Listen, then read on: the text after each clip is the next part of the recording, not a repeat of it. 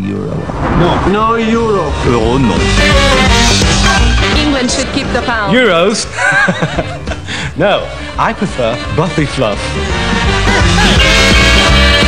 What's really good thing about the euro is um, At the press of a button, you can transfer money into any currency across the world. So why do we need the euro? The economic situation is not the same in Greece and in England, so you cannot have the same um, the same money. The Germans are crippled right now. They can't uh, deflate, they can't reflate their economies, they can't move at all. No. No. No. No.